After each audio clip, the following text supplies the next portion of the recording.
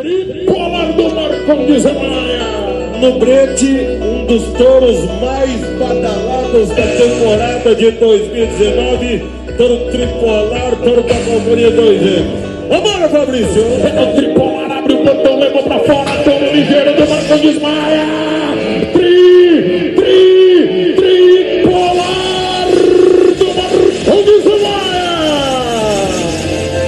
Maneira como o tripolar entra rodando forte demais.